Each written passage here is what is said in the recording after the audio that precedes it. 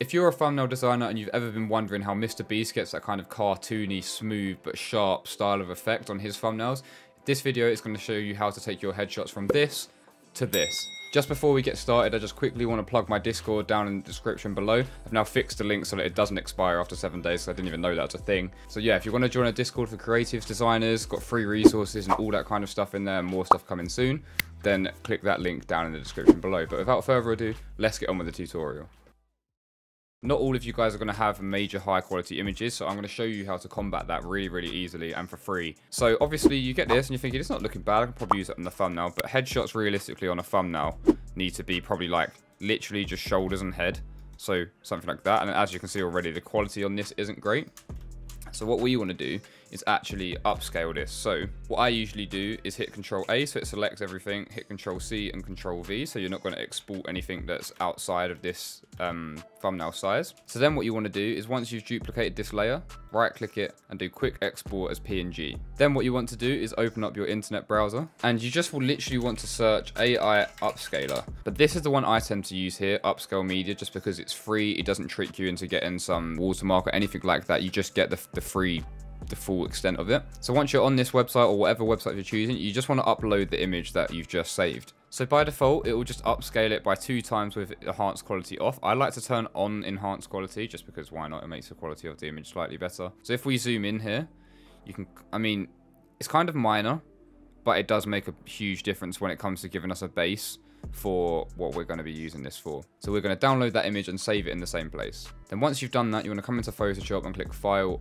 Place Embedded or Linked. It doesn't really matter which. I always just go with Embedded. And just find wherever that file you've downloaded went to and just click Place. So as you can see, guys, this was the before and this is the after. Now, it's not dramatically changed, but that's fine. If you zoom right in, and you toggle the before and after, you notice that it's just removed a lot of like the little artifacts in here on his nose. Like there's lots of little pixelated lighter textures and that kind of thing and especially with the eyes because the eyes are extremely important as we'll figure out later on. So once you're happy with your upscaled image you can delete the other layers as they don't really matter. I'm just going to duplicate it once more just so we have a backup if we ever mess anything up we need to start again. Then what you're going to do is hit w on your keyboard and come up to here and click select subject and this is going to hopefully select Mr. Beast. I thought that was going to crash my Photoshop then, but it didn't. And then what you want to do is hit Q on your keyboard to bring up the quick mask mode, and you, so you can just tell how well it's actually cut him out. Like as we can see here, it's going to be including lots of this stuff at the top, which we don't actually need, isn't part of him. Or like here, it's going to be missing the back of his head. So what you can do is hold left alt on your keyboard and right click. Drag your mouse up and down to change the softness and hardness and drag it left and right to change the size. I usually go with like a 50-60% ish hardness one when I'm do dealing with hair. And we're going to make sure we're on white, which you can press X to switch between your foreground and background colors. Black erases and white keeps it in. So anything you paint in black, it's going to tell it to cut out. Anything you paint in white, it's going to tell it to keep. So we're going to paint in white for any bits that it's just missed off of our headshot. So once you're happy with the cutout, hit Q again and it'll, you'll see it will just select him like this. And we're going to come down to the bottom here and click the layer mask button and now as you can see if you notice on here and you just want to double check that it's masked everything correctly and there's nothing like else left in the, the image you can do two things. You can hide the layer below it and see if it's done anything or you can hold left alt and click on the layer mask itself and you can see exactly what it's masked and if it's left anything. Because sometimes you see like here it leaves bits in grey. And if you're working with lots of glows and lighting stuff it can sometimes mess it up and you, you're not sure why. So it's always just good to double check your mask. So we're going to leave him there on the thumbnail as that's where he'd be on a thumbnail most likely. And we're just going to start layering up the effects that give it that Mr. Beast style. First thing I'm going to do is duplicate that layer just for that same reason of we want to back up if we do mess up or we want to restart then we're going to rasterize this layer layer so that we can actually edit it. And what you're going to do, we're just going to go in and do some general retouching and imperfection fixing and all that kind of stuff. So the clone stamp tool is going to be your best friend here and the spot healing tool, all those kind of things. I prefer to use the clone stamp just because you get a little bit more control. So if you don't know how to use the clone stamp tool, you've never used it before, go onto the layer that you want to fix and then you hold left alt and you'll get this target appear. Just left click once and that will pick that point. and then you can go on another layer or the same layer if it's not masked and if you start to paint somewhere else as you can see it's going to create that little cross where you alt clicked and then wherever you paint it's going to paint from that position but in the position that your circle is where you're painting. It sounds confusing, but once you once you try this yourself in Photoshop, you'll see what I mean. As you can see, I've just painted in another Mr. Beast eye over here because I selected the point here. So you just want to go around his face and just get rid of any imperfections. Some good things to do from personal experience is even if they're not proper bags, but just get rid of the kind of creases under his eyes and stuff like that. As long as it kind of blends a little bit, don't worry about it looking literally perfect. Or like here, he's got these kind of dark circles. Where as you can see already, if we do the before and after, you can kind of see the difference that makes in his face and we're not even done yet. What I like to do as I go through and do my headshots is actually rename the layers of each step that we've taken.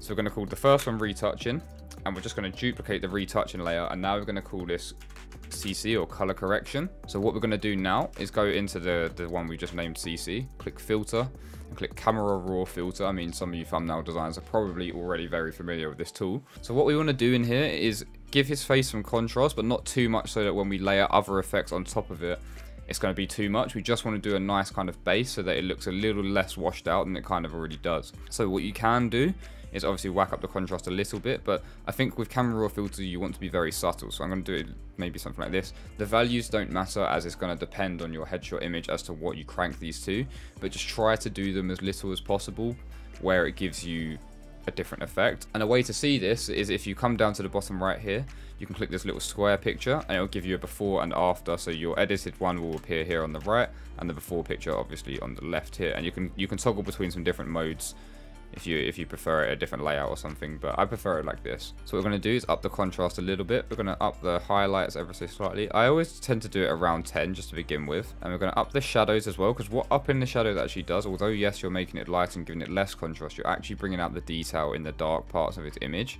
And then what you can do is tone down the black slightly to give it that that contrast. You can see a lot more detail in here in the shadows down here. There's a lot more contrast around the edges of his nose, under his eyes, that kind of thing, and his hair. And then what we want to do is come down to the color mixer down here. And this is where it's going to vary again on your headshot and your, your subject. But in this picture, for my liking, Mr. Beast's face looks a little red. So what we can do is adjust the hue ever so slightly. And I mean, I mean very slightly on here. I don't tend to go above or below the 30s. So as you can see, if you crank it all the way, he looks yellow and he looks ill.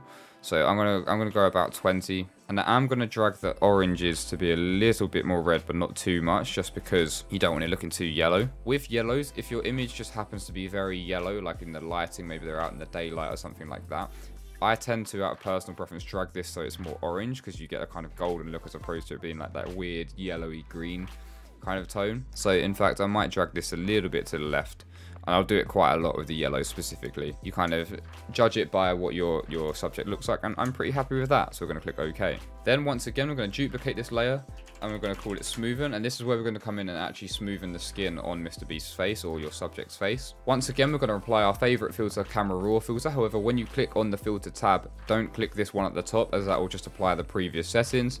We want to come down to where it has the shortcut next to the name, and we're going to click it. Come up to the basic tab, and what you can do, again, you judge it by your subject, but if, it, if it's quite high in texture and you can normally it's a very high quality photo you can normally see like the pores in their faces and that kind of thing what you tend to want to do with this effect is come to the texture slider and just slide this down quite a little bit maybe like 50-ish. I'm going to do a little bit less because our picture is not the highest of quality to begin with. Clarity you can mess about with and you can kind of judge on your own. You can turn it up a little bit, but I would stray away from turning up too much. as It kind of just undoes the effect that we've we've just added with the textures sliding down, although I am going to add it up a little bit, literally just by six. And you come down to detail. We're going to up the sharpening quite a little bit just because we want our picture to be as sharp as possible. But we're also going to do noise reduction as this is going to smooth out the face quite a lot. And as you can see now, it's already starting to give that Mr. Beast kind of effect with his very smooth skin. Once we've done that, we want to duplicate the layer again. And we're just going to call this one lighten. Now you can do this the next two steps in either way around. However, I always just prefer to do the lighten first. Come down here to the make a new adjustment layer with this button here. And we're going to add a curves layer. We're going to hold left alt on our keyboard, hover over the bottom of the layer in our layers panel, the curves layer that is, and left click, and it's now going to create this arrow, which means it's clipping mask to this layer. So if we were to have a background, for example, and we are to paint in the mask over here, it's not going to do anything until it touches Mr. Beast's face. So what we want to do is you want to lighten up the lights on his face, but only around certain areas. So what we want to do is at a point, I usually do it around here where this kind of grid line is, and just drag it to the left ever so slightly. And, I really mean slightly. You don't want to drag it too much. You don't want to blow out the features that we're going to highlight. And you don't want to drag it not enough where it doesn't really change it. Here is probably perfect. So it looks a little blown out, like a little too light, but that's kind of what we're going for. Because what we're going to do is fill our layer masking with black. So I've just pressed control backspace because it is on my background color. Whilst I've had the layer mask selected. I'm going to get a soft brush, so hold left alt on the keyboard, right click, drag it upwards, and then just go and paint around the main kind of features on his face that you want to be highlighted. So that's going to be his eyes, kind of around his mouth, maybe just a big kind of general brush over his nose. So I'm going to go with something like that. Next, what we want to do is not duplicate the whole layer. We just want to duplicate our curves layer. Going to clipping mask that as well, the same way we did the first time. Add a new mask, and then we're just going to click this reset button here on the new one. You can even rename these. So you can rename these ones lighten and you can rename the new one we're going to make darken. So once you've reset this layer, we're going to do complete opposite. So we're going to come down to the bottom left of this line, drag it out to the right a little bit so that the darker areas are going to get darker. Hold left alt on the lighten layer, on the mask specifically, and drag it onto the darken layer. Click on the darken layers layer mask and hit control I. You can inverse that. So now as you can see, his face is very much brighter. So if we toggle on before and after of this, you can see the difference that that makes in making you focus on his facial features and making it that kind of smooth color. And then from here, you can kind of literally go in and just adjust it a little bit more to see to see how you like it. And if you if you feel like you need to get rid of any areas, like maybe on his cheeks, you want it to not be so bright. So once you're happy with those effects, what you then want to go and do, highlight all of these layers, Command J to duplicate them, and just hit Command E so now what we're going to do is we want to just give his features more definition. So what I like to do for this is come to brightness and contrast adjustment layer, clipping mask this onto Mr. Beast, up the brightness quite a bit, maybe on like 30 because you can always adjust the slider and up the contrast a little bit as well. Fill this layer mask in with black, get a soft white colored brush on the layer mask and just come in and paint it over the kind of like highlights of his face. Now this is very strong, so let's turn the brightness down on this a little bit. So the main kind of highlight areas would be like his cheeks, especially his eyes. Maybe we'll do a separate one for his eyes actually. Just anywhere that kind of, you can kind of naturally see where the highlights are on his face anyways. Something like that works. And then what we're going to do is duplicate this layer, fill in the mask with black, because I always like to do his eyes on a separate layer, because I think I always make, like to make his eyes a bit brighter. And with the same thing, although a slightly harder brush, we're going to come in and just paint over his eyes and brighten them up. Because, fun fact, the eyes are the first thing you noticed about someone's face, so that's why a lot of YouTubers do these kind of OMG shocked expressions because it opens up your eyes. And we're going to come and do the same the same adjustment layer. We're going to adjust the teeth as well. We're just going to brighten them and also we're going to desaturate all of these after. So if the if your maybe your subject doesn't have the whitest of teeth, then it doesn't really matter because we're going to fix that anyway. And then we just want to do it. You don't want it to look like a zombie, so you don't want it to have it blown out like that where his eyes are really, really bright compared to the rest of his face. You just want to do it very subtle. And bear in mind, we've already lightened up his eyes area with other adjustment layers, so maybe something around, I'd say no more than 30, maybe 20 to 30. Then what we're going to do is do another adjustment layer, hue and saturation. Left alt click and drag the layer mask onto the hue and saturation layer. Clipping mask it as well if you want, not that it really matters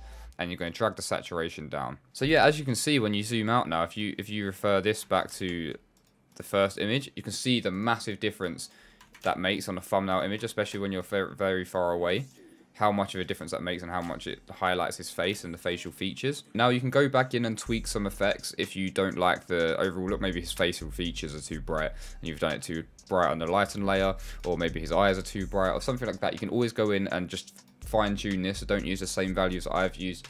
Tone it to your subject for your thumbnail because it will give a better result. But the final thing we've got to do is we're going to duplicate our final layer where we've we considered the light all to look correct. So once we've made a duplicate of our final adjusted layer, what we're going to do is go filter, we're going to go to other, and we're going to go to high pass. I haven't really perfected the setting for this, but I think the best way to do it is kind of adjust the slider until you can kind of see it. I can't really explain it. It kind of blurs around the edges of contrasty bits of your image. So you want to get it so that the contrast and details are nice and dark, but it hasn't like blurred over it. Like if I slide this up too much, can kind of see like there's a light kind of halo effect. Like here, like going around the edge of his cheek, you don't quite want that. You just want these dark kind of bits to be as dark as possible. So I'm going to go something like 23 for mine. Again, adjust that to your liking on your high pass filter. And then we want to click OK. We're going to come to normal, the blending mode up here. Drop this down and set it to overlay.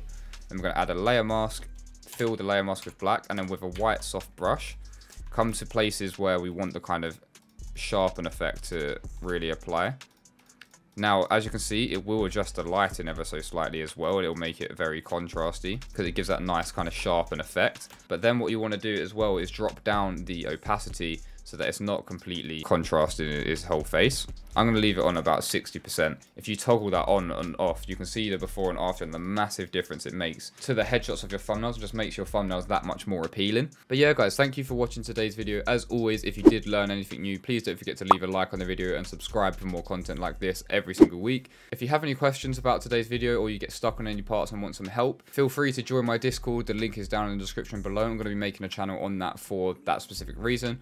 As well as if you just want to join anyway to join a community of likewise creatives, designers, video editors, illustrators, all the rest of it are all going to be housed in my Discord. So the link for that will be at the top of the description. But yeah, guys, I hope you found this video useful and I will see you in the next one.